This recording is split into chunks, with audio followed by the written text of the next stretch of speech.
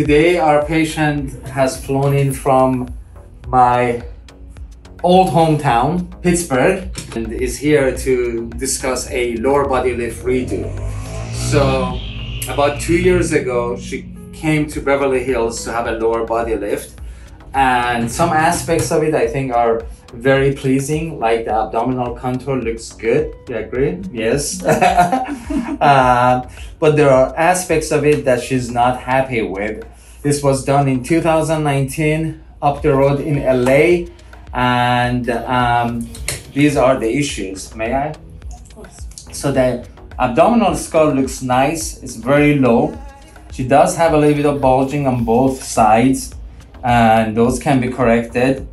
Um, but the rest of the issues that she has is outer thigh laxity. I'm gonna pinch you, okay? We did this already. Thigh front laxity. So she's got about three inches of outer thigh tissue that as of today can be tightened. I'm not saying that it wasn't done.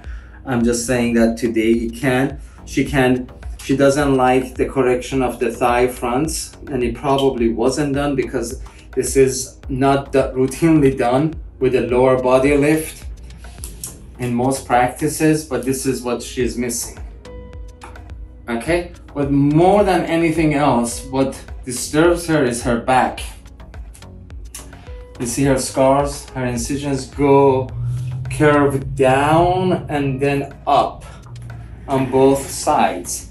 Ours would have been exactly the opposite. It would curve up, follow the contour of the buttock, and then nicely flow as you guys have seen many of them, nicely flow into the tummy tuck scar.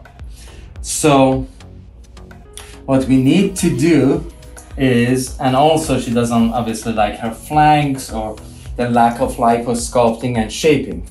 So what we'll be doing for her is to revise her lower body lift, lift this up so that this buttock incision ends up underneath her thong. As you have seen with my incisions, we'll be removing all of this fullness. We'll be utilizing the fat to reshape and reform and contour her buttocks. So we get rid of some of the dimples, make it rounder and fuller. As we come to the sides, we'll be doing an outer thigh lift and I think I can remove this much, maybe three, four inches and then redoing her thigh front lift and then her tummy looks good. I don't have to do much, but I'm gonna sculpt her. I'm gonna create a high definition look in the front for her with liposculpture and vaser. And we're gonna also take care of these two small bulges here, which are actually muscle laxity. And we'll be fixing that from inside. Um, and then we'll just pay attention to the finer details like this.